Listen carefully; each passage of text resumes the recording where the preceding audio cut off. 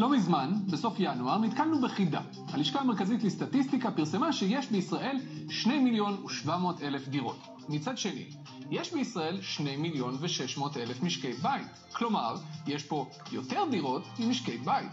וזה קצת הטריד אותנו כי, כי כל הזמן אומרים לנו שהסיבה לעליית מחירי הדיור היא שיש יותר ביקוש מהיצע, כלומר יותר משקי בית מדירות. אבל הנה, בפועל המצב הפוך. איך פותרים את החידה הזו? דיברתי עם כל מיני גורמים בשוק הזה והם הסבירו לי שאחת הסיבות היא שאולי יש יותר דירות ממשקי בית, אבל ממש לא כל הדירות משמשות למגורים בפועל.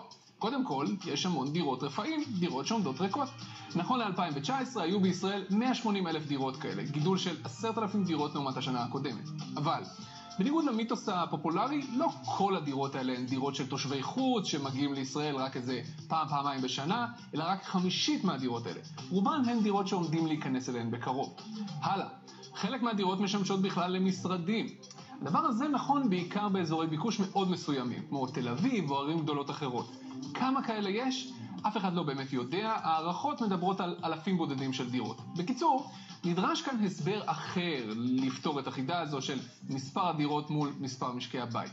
יכול להיות שצריך להסתכל על הנתונים לא במקרו, אלא במיקרו.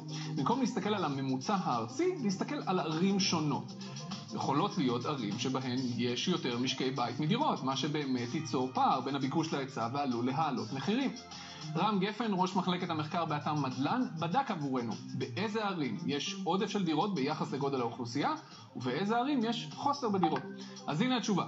מבין הערים הגדולות שיש בהן עודף דירות מובילה את הטבלה חיפה, עם עודף דירות של יותר מ-10,000 דירות ביחס למספר משקי הבית בעיר. ובאמת, מאז אמצע 2019, מחירי הדירות בעיר יורדים בממוצע. מיד אחרי זה, פתח תקווה, עם עודף של בערך 6,400 דירות, וגם בה המחירים נמצאים בירידה מאז תחילת 2019.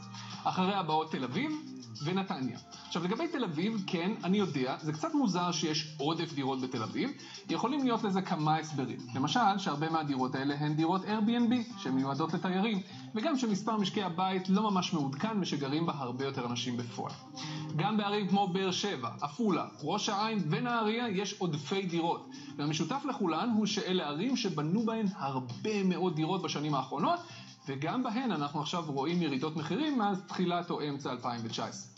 בצד השני, איפה יש הכי הרבה חוסרים בדירות? בראשון לציין, בחולון ובאשדוד. בכולן אגב, המחירים בעלייה.